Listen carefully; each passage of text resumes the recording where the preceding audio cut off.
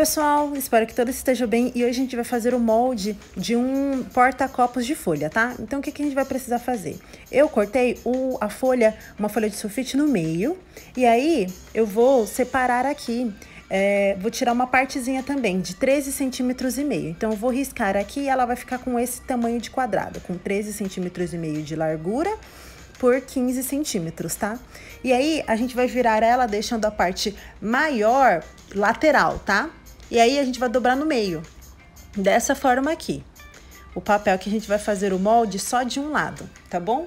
Então, o que, que a gente vai fazer? Deixa eu colocar aqui. Esse papel, ele tem 13 centímetros meio por 15, tá bom? E aí a gente vai fazer o molde aqui por esse lado.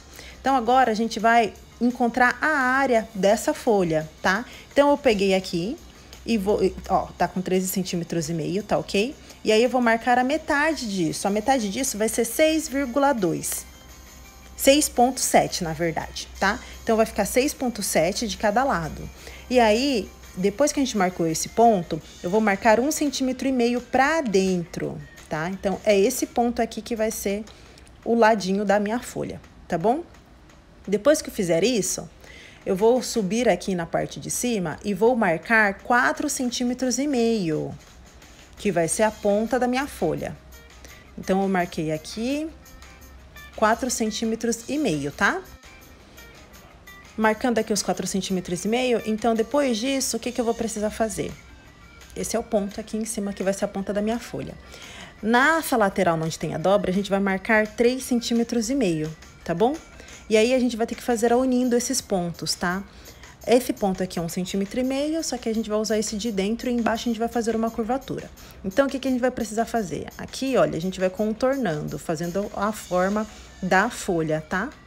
E aí, vocês vão fazendo com risco um pouquinho mais é, leve, para vocês irem só continuando, fazendo uma curva contínua, tá?